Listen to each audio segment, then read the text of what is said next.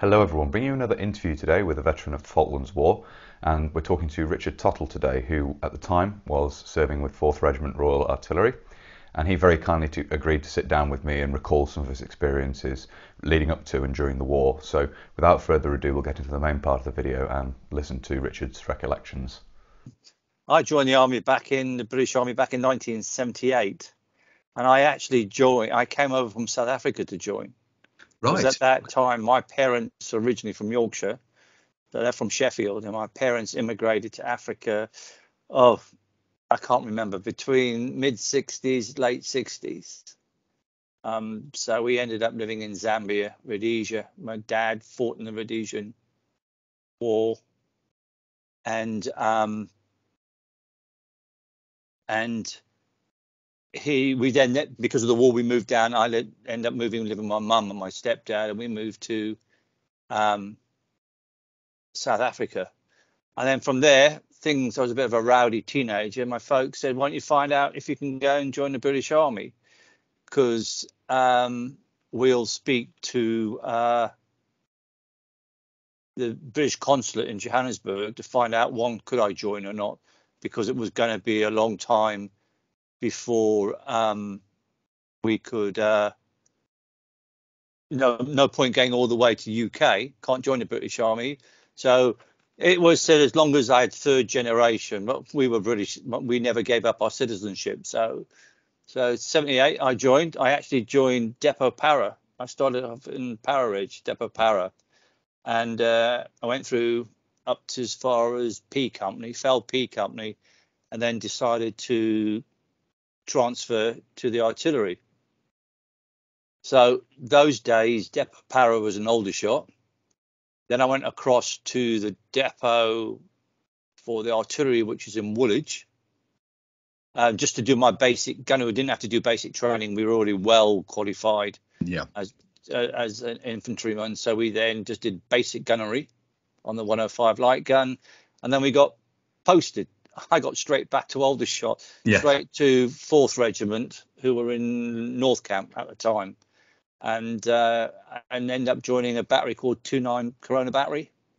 That was a senior battery in Fourth, and we were always on spearhead. So we we supported one para, two para, three para, and you know as a battle group, depending what battalion was in Aldershot at the time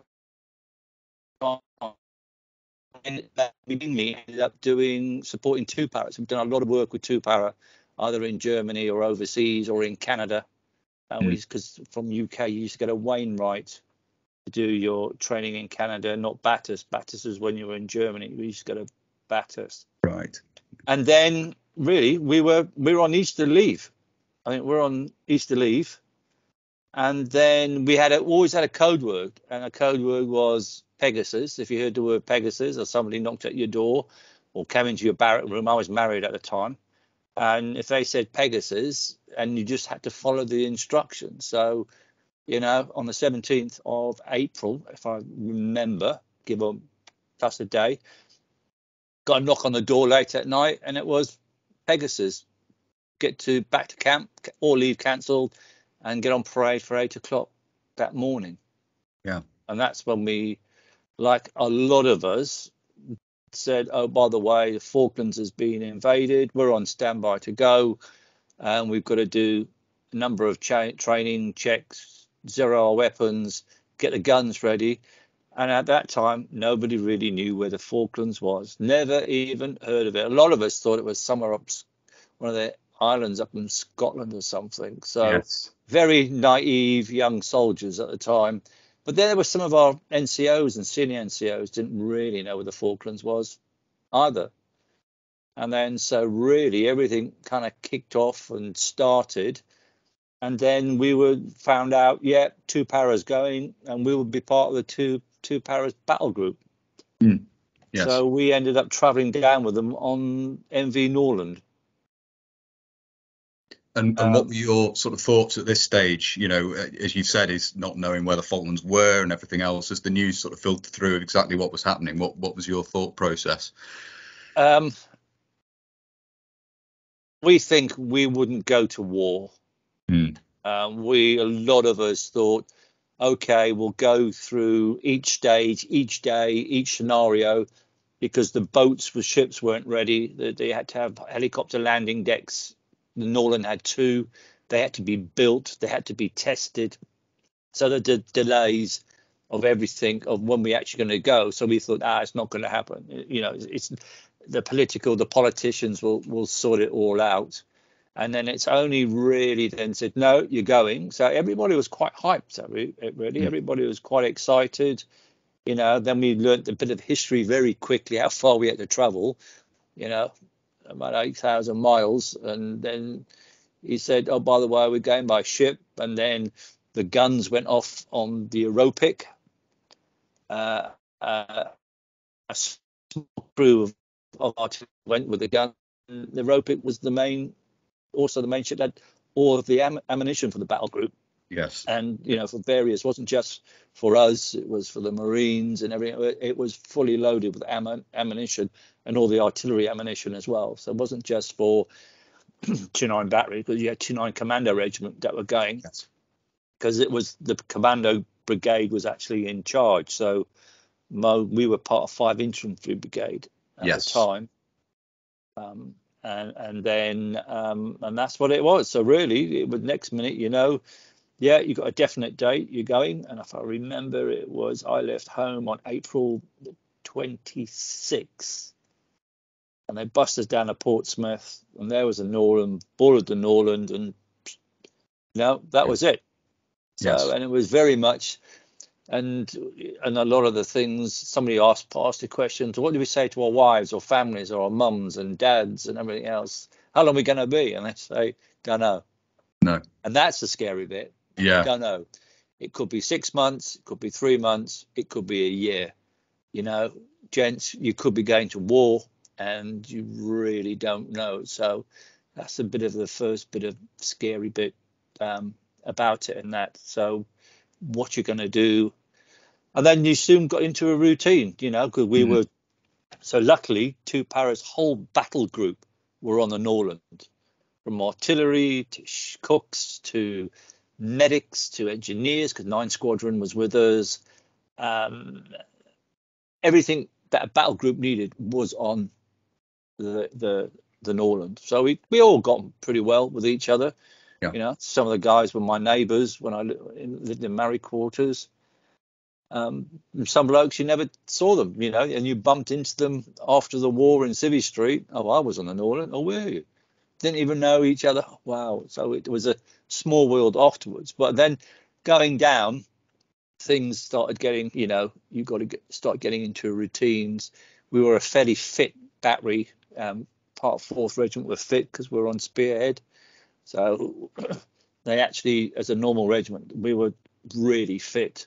And then we just got, got into more a routine of fitness, running around the decks of the ship and PT on, on, on the decks. And then you then then you did a lot of lot of lessons started coming. So besides um, medical stuff, first aid, doing things that you had never thought about, slightly different, things that you would never do again now. They're just so old fashioned. um, so that, um, and then you used to get briefings about the Falklands, where they are, what they're for, where they had them. And then we had a big, uh, quite a few lectures of a, a Royal Marine Major and he had sailed all around the Falklands. And he was about to produce a book, and he wasn't allowed to because it, they put it under the Official Secrets Act at that time because there was too much information about all the inlets and everything. Um, and it was like that. And then it was getting your kit, you know. The one thing they gave us, they gave us these Art, Arctic um, boots, but they were more like ski boots. We had to give them all back. You couldn't break them in. They were absolutely useless. So we still had the old DMS and puttees. Yes, which um, gave so a lot no, of trouble later on. From they gave a lot of trouble later on. Yeah, you're right there. So um, so it's getting everything together. You know, you've got mm. your Arctic warfare, you've got your Arctic. Talked about the Arctic rations. They said you may have not, because we've never been to Norway, so they'd gone through. Arctic rations, how they were different to your normal 24-hour ration pack. Um, the clothing as well. You've got Arctic clothing, so from thermal underwear to your socks, stuff that you would never usually have. Um, um, and then you just had to get used to all of that stuff. And then shooting, firing. Yes. Um, I don't know. There's a funny little story where we were doing off the back of the Norland, bags of rubbish were flying out, flying over were, as target practice, and one of our guys shot an albatross, and that is a big no-no because Yeah. the merchant navy navy guys, it's bad news and bad luck, and we had to hide this guy for about four days on, on ship. Yeah, keep his head down because it was just not the known thing to do, and he didn't do it on purpose. It was just flying low, and it got it, got it, got it, got in the way. So, yeah, that was some things, and and then we had movie nights. You know, it's like anything in the navy or the merchant navy. You've got a different movie every night. So everybody would go in down into the main canteen area, and the old 16 millimeter projector would go go off, and that, and then even to the point, I think we hit, especially further down. So before we sorry, before we got there, we stopped off at Freetown, um, and that was just to get fresh supplies and everything. And Freetown, nobody was allowed off the boat, and then from there we went to the Ascension Island, and I was lucky enough to get on to Ascension Island, good enough to buy the Sun newspaper. Um, and, and, and what they did, they, they um, rigged up a helicopter and flew the guns in. Three of the guns got flown in just to make sure the rigging and everything else for the guns were all right. So we, I think we were on the ground in Ascension about half an hour. Not everybody managed to get off the boat. Then it's back, and that's, that's the point where things started to happen and come more serious because you started. Uh, you would wake up in the morning, you'd go out on deck, and then you just see ships. And then another day, more. So the whole task force was starting to form up in Ascension Island, ready before they um, went down. So all the infantry, so the paras and the marines, they were all getting ready to um, practice landing. So all the landing craft were going everywhere and landing off in Ascension. Uh, everything you could see, all of a sudden, things were getting. This is getting real now.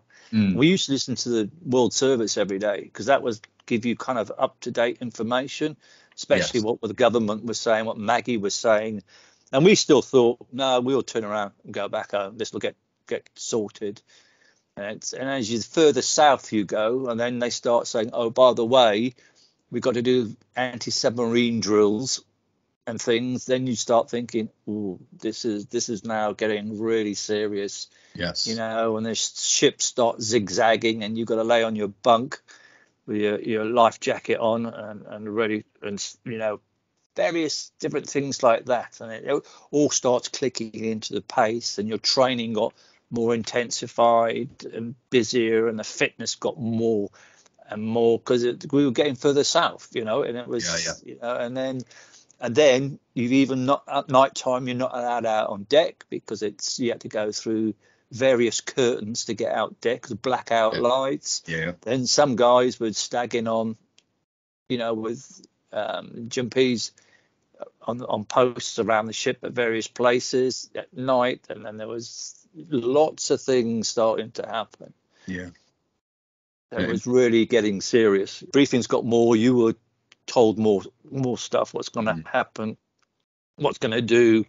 And then you know, um, and before that, I mean, we even hit. We got into into the South Atlantic. You know, we hit a. You know, the sea was quite bad for those that people that aren't very good. You know, when you get a force nine storm, it, and you're in a kind of like a, a North Sea ferry, which Yes. which which Yeah, the yeah. Norland was. It was quite frightening. That was because it would make so much noise when it would go up a swell and then crash down on, on the water, and everybody used to think we've just been torpedoed or something. It Mm. it's it was, but, but at the time though, we were still watching Life of Brian. You know that that Life of Brian was going on the bad storm and. People were being sick everywhere, and but they just carried on watching the movie and, and that, and then and then the further south you got, and then you realise, and then your bosses come down and turn around and say, "Gentlemen, that is it. We have been ordered to go. This is now um, um, ready and left for you to to to go." Yes. You know, so that gets quite uh, uh, a bit scary and that Yes. and then briefings so the training kind of stops and then it's briefings and there's drills to do um, and then people and then just as a couple of not when they were working out who was going to get off the boat first who's going to get the landing craft and then you all start moving up decks as it's your as it's your your turn so two para got off first Yes. and then and the landing craft, and then we got flown in. We got so when we got into San Carlos Bay, and that's where they told us we're going to sneak into San Carlos Bay, right on the other side from Stanley. It was a better way to, to get in, um, more a bit more of a s- of a surprise. Um, and then, especially before I think before that, the old Belgrano got Yes. torpedoed by us. So that hit home even more to say, you know, this is for real. We're going to do it for real.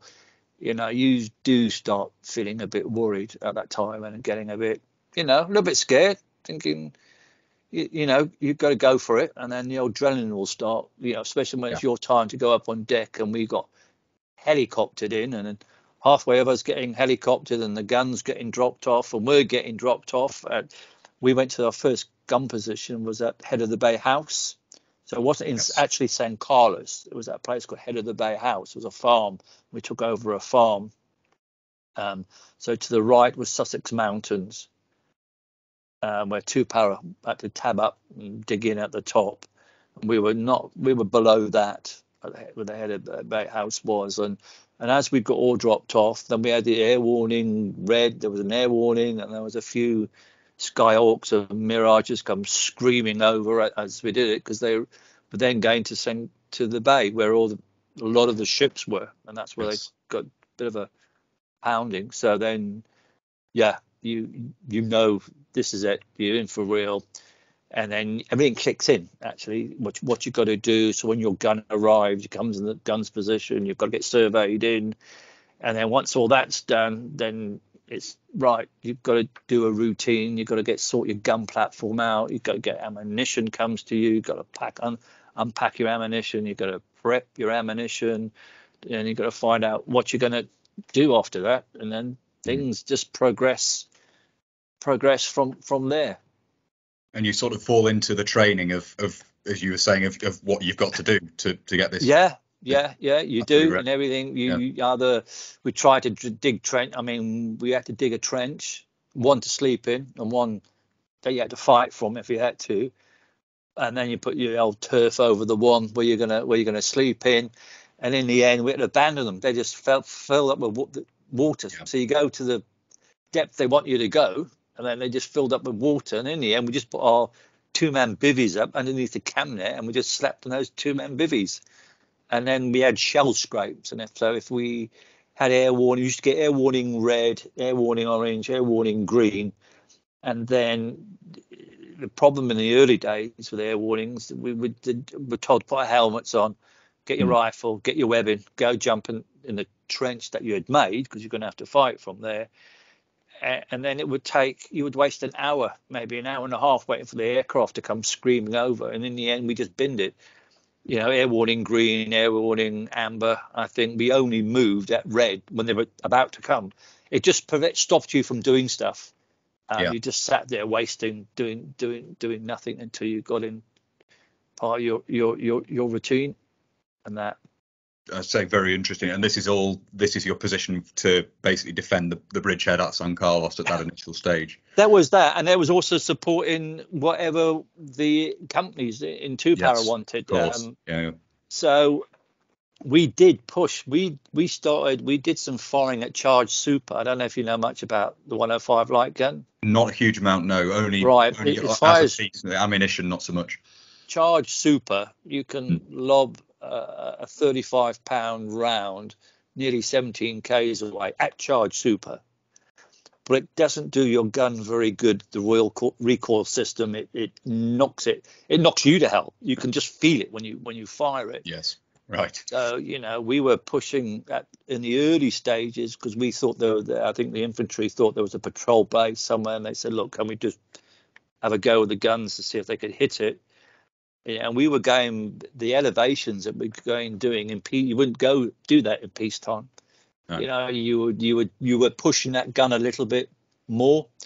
with charge super and high elevations to try and reach those targets that that were requested from by our OPs because the artillery has OPs uh, who who just mix with the infantry. You know, they're yes. assigned to each company, and they will call in the artillery fire for you if they want it.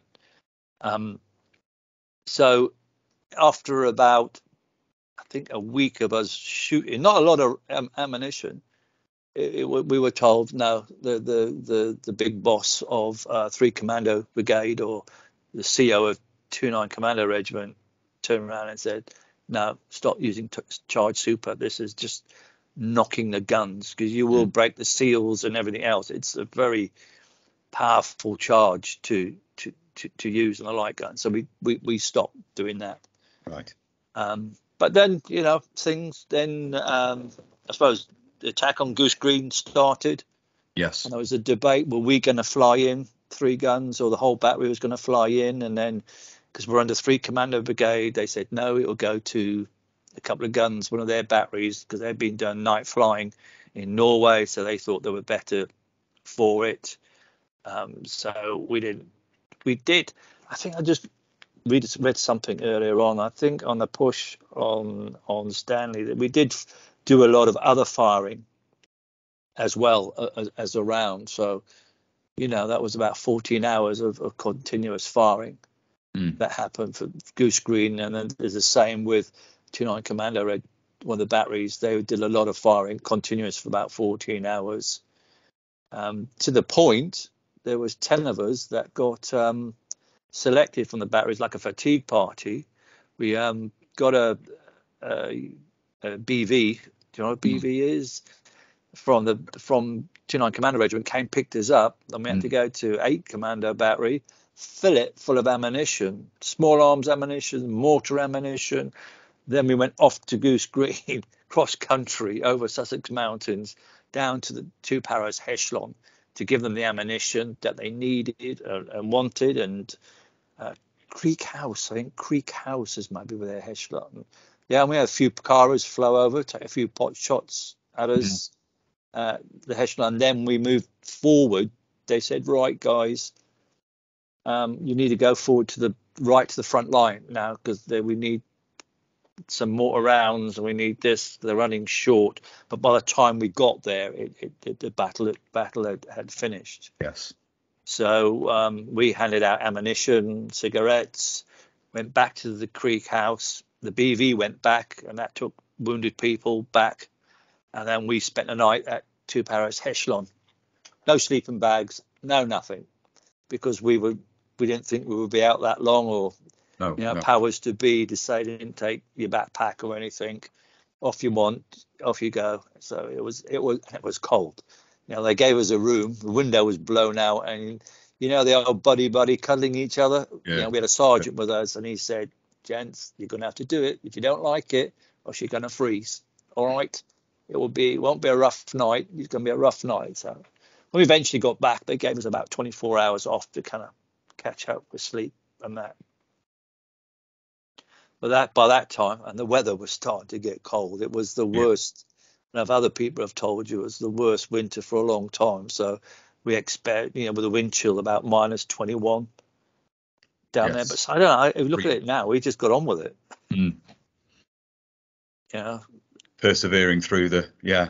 Yeah, the cold, and but then your feet started getting wet, and then the DMS boots were no good, and then medic would have to come round. We had our own medic, and he had to come round, and then he had to make sure that um, that uh, we um, had to uh, check our feet, make sure you're changing your socks every day, take your wet socks off, put them inside your body, next to your body to try and dry out. Every day, you know, even our battery commander, when he came round to visit, said, "Guys, you've got to keep changing your socks, and we're going to have problems." You know, a few of the guys did start going going down with um, um, trench foot and foot rot and, and all the rest, rest of it. Yeah. A very unpleasant conditions and not something the boot was able to, you know, protect you from. No, absolutely useless. Absolutely biggest useless piece of kit, you know. Mm.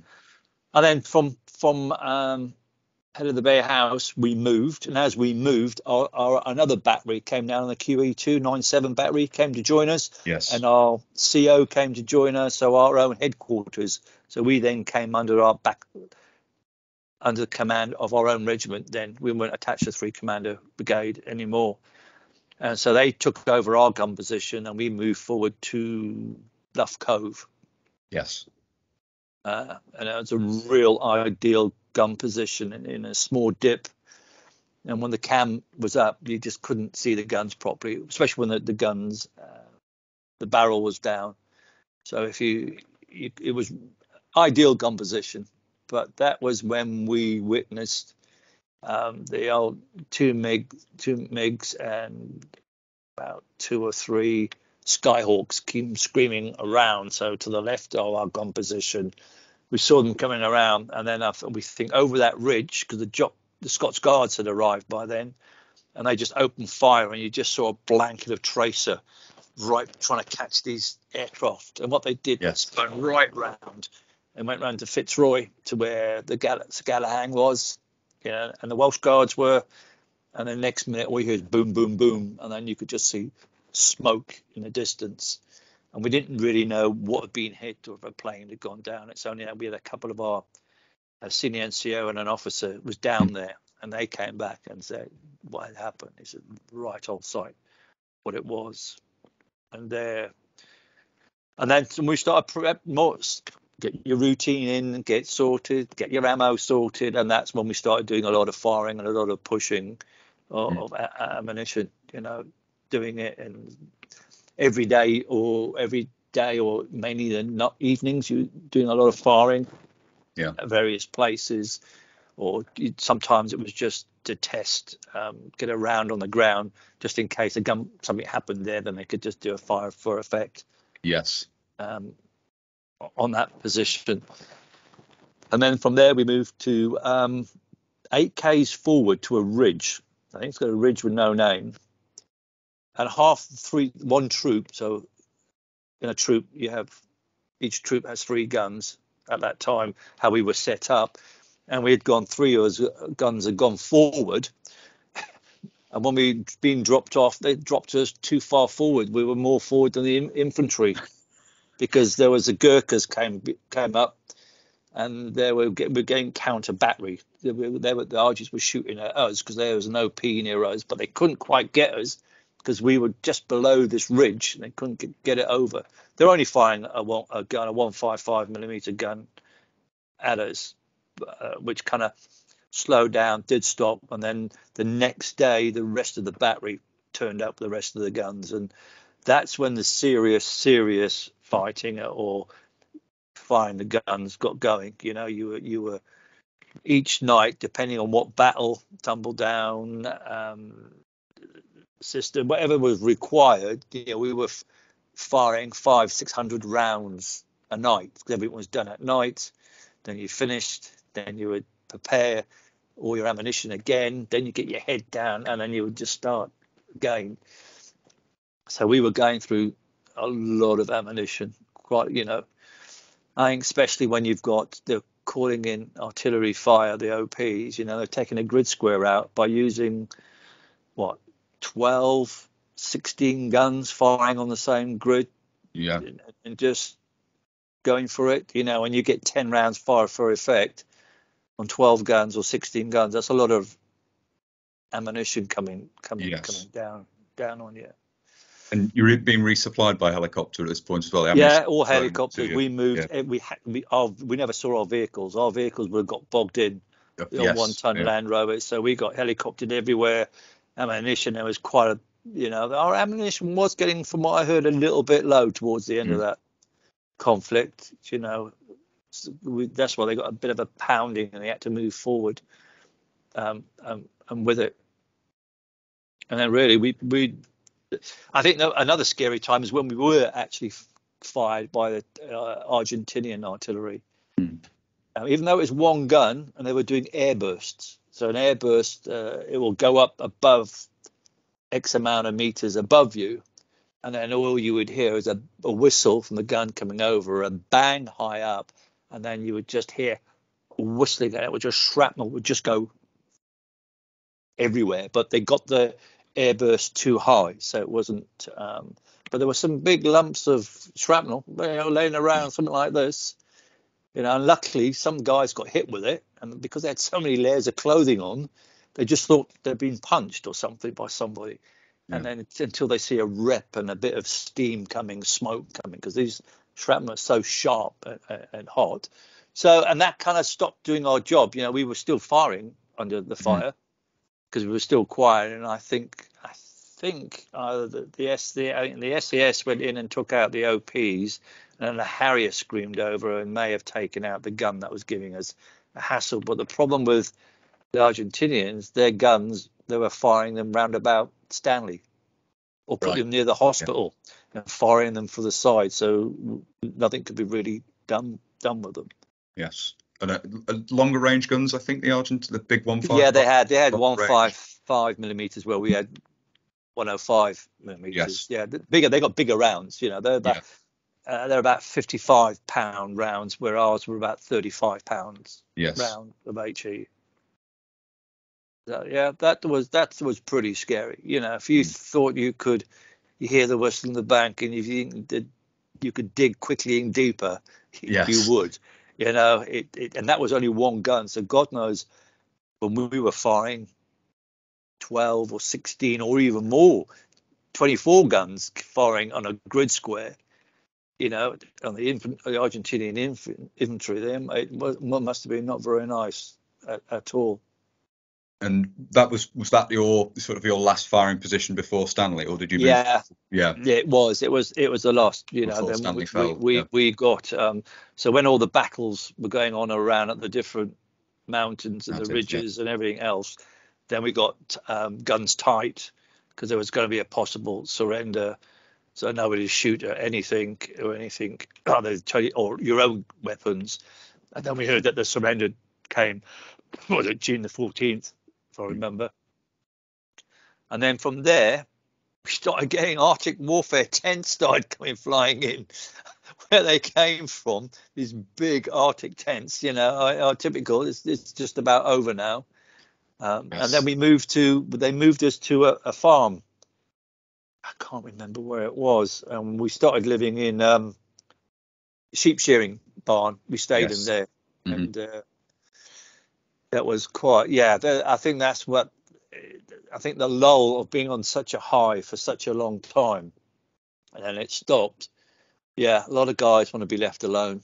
And yeah. I know beer started coming in. We'd have beer, and people would just have a good few beers, sat in the corner, and just don't want to speak and get on. And then the Sergeant Major were trying to knock you in, get shaved. You know, you used to have a blokes had a moustache that joined their, their sideburns and and and and all and all all, the rest of it. So uh, it it they they did get kind of uh, yeah that we couldn't understand. You know, your no. kit was in tatters, and I sew this up, sew this up. Everyone's going, no, no, no, no, whoa, whoa, whoa, whoa, what is all this? You know, we've been fighting for the last nearly three months or so, and now you're trying to say to us, do this. So that was a bit hard. I think it had to take a few senior NCOs to tell Sergeant Major not the right thing to do, you know, or, yeah. or, else you're going to have a bit of a problem. Um, so it was that. So, you know, we hadn't, and then we had one sergeant managed to rig up a shower and then he said, Right, two by two, you're going into that shower. It's hot. You're not going by yourself. Two by two, you I'm going to time you. 44 gallon drum you're going to take.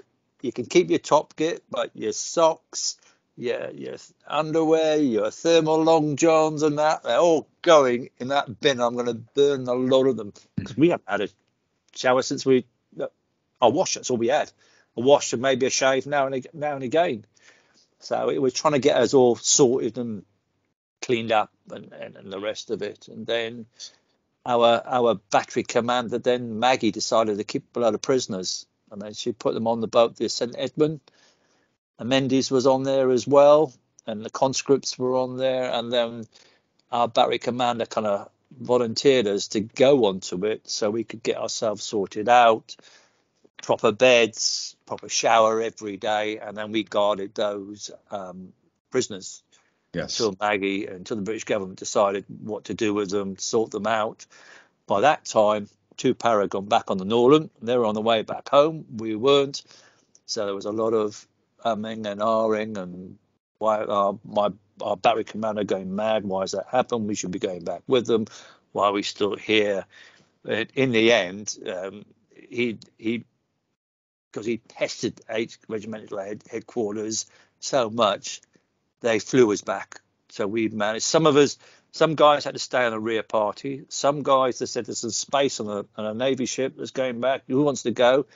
A few put their hands up and said, "Okay, you can go." Um, then uh, rear party had to stay behind to do a handover. Who's going to take over? The bulk of us then we flew on, on a Herc from Stanley up to Ascension Islands, Yeah. and then on the VC10 back back home really. Um, and then we uh, we uh, then yeah came into camp. They said there's beer if you want it. Your wife and kids if you had them. Met you out Brize Norton. Um, they said you can take as many duty frees. We don't care if you got fags or booze. Don't care because you all got it at Ascension Island. That's a duty free tent, Ascension Island Yeah. Don't care about that. If you've got weapons or anything, that's what we're interested in. If you if you've got a license and you can prove you've got a license, we'll sort the paperwork out and all the rest of it. Got into camp, hand your weapon in, and then they say bye bye. Yeah. You're off. Eight just- weeks leave. I think it was eight weeks leave or something like Just- that.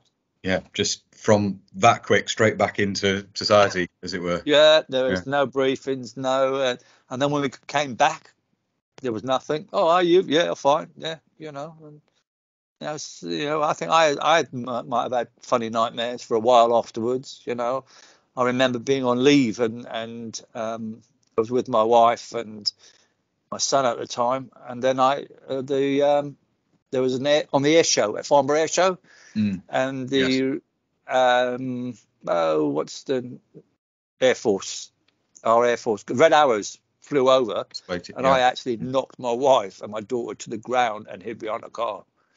You know, there was little because how you were, you know, the noise and the, Yeah, yeah. of that type of aircraft. So, yeah, a lot of people had a few little issues and stuff. Got back to work and as if, yeah, well done, that's it, okay.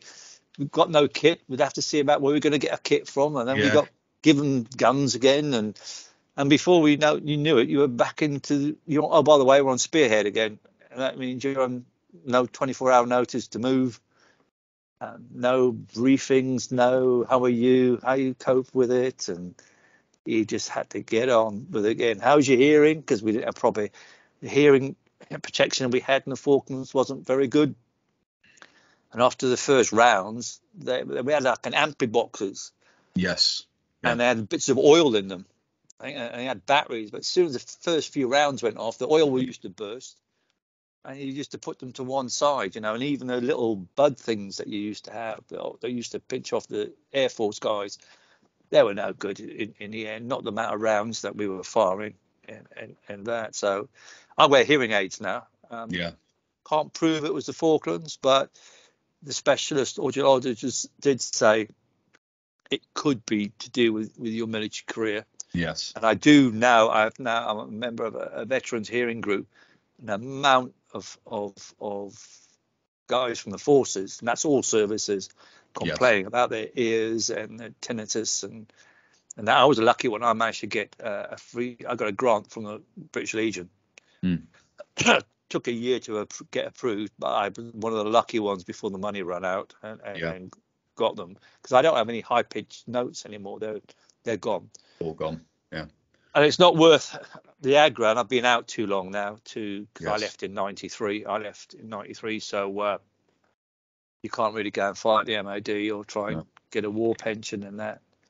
So, uh, uh, Yes. on, sorry. I was just going to say, on the topic of your your further career in the army, obviously, you say you came out in '93. What was your career progression from then over the next uh, um, 11 years? What? How, Um, um, well, we got uh, as a regiment, we got posted to Germany in, because Fourth had had the parachute role in in in Yes. Aldershot. Not all of us were parachute trained. Certainly, I wasn't parachute trained. Like all the OPs had to be parachute trained. Some guys and the guns were parachute trained. The CO was usually para-trained. Our battery commanders were all para-trained. Um, so what happened then in 1984? There was another change that round. So we went to Osnabrück in Germany, Mm. and then 7RHA came back and they took over the role again in 7 Parachute Regiment, Royal Horse Artillery, and they took over from that. So we ended up. So it was a very, it was a very different soldiering. It was a hype going to Germany because I lived in Germany for nine years. Mm. The regiment, I think my regiment spent about 18 years or something over in, in Germany. Yes. Um, now they're at Topcliffe, my old regiment. But 80, 84 we went over, and, and then trying to be soldiering, waiting for the Cold War, and, and everybody comes a different way of doing things in Germany compared to how we were height of readiness and Aldershot, type of soldiering we did in all the Aldershot compared to when we went to Germany. So it was a bit different, a lot different Yeah. um, from from that. And uh, yeah, so then I think I then asked for a posting. I, I got a posting in 1986. I went to a different regiment in Lippstadt. Um, I was already a lance bombardier then, and Yes. I got a bomb, became a bombardier, uh, became a sergeant. Uh, I managed to finish off as being a sergeant, and then my uh, I was in 49 regiment, and then options for change came in the 90s, early 90s, and we got disbanded.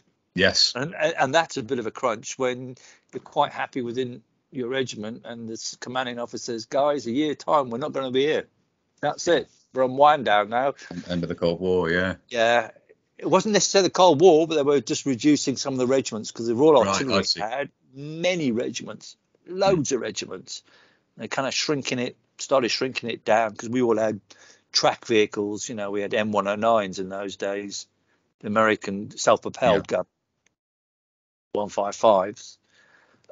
And then, so what happened then? So you got to get posted. So I was a sergeant, so I got posted to where there was a vacancy, and I ended up in. It's not called this now. It used to be called 12 Air Defence Regiment, Royal Artillery. It's now just called 12 Regiment, and uh, options for change came back in again, and I took early retirement slash redundancy. I managed to get it because I couldn't settle in that regiment. I just there's a point in your army career, and then a lot of people I've spoken to, they just go, you know, that's it, time's up. Right. You know, even though you know you're going to pro- progress with your career, Hmm. you know, you know that your your um, what you got to, you know, your pension reasons, you need to stay in and at least do your your 22 in that, but it wasn't right anymore. It just wasn't, and it was just that time time to to leave. So I left in Hmm. officially left in October 90, 93. Right. Just over 15 and a half years. So there we are. I do hope you found it interesting. Uh, I certainly did. I always enjoy conducting these interviews. I always find out tidbits of information that you wouldn't find elsewhere. And it's it is interesting to hear individuals' particular experiences of conflicts, which obviously you may read about, but it's interesting to always hear a personal uh, perspective on these matters. So thank you very much once again, Richard, for taking the time. It's much appreciated. If you have found this interesting and you'd like to see more from the channel, please do consider subscribing if you haven't already. And whether you're newly subscribing or you've previously subscribed, please do make sure you hit the little bell, the notification button down below. That will, of course, alert you when I upload future videos. If you really like my uploads and you would like to support the channel, you can. Both Patreon and PayPal are linked down below. And as ever, a huge thank you to everybody who supports the channel using those two methods. It's greatly appreciated, all of you. Thank you all very much indeed. If you'd like to follow the channel on social media, you can. Facebook, Instagram, and Twitter are all linked down below. And if you'd like to get in touch but you don't really use social media, there is, of course, an email address down below as well. That's everything for this video. So until next time, bye for now.